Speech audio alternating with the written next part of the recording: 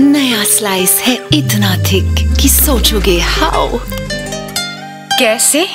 तुम बताओ। थिक क्योंकि एंटी ग्रेविटी फॉर्मूला है। इसमें 24 कैरेट आम है।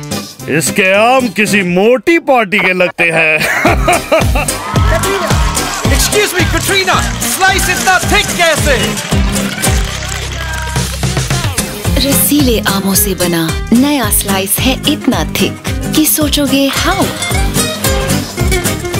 ट्राई करो और खुद जान जाओ।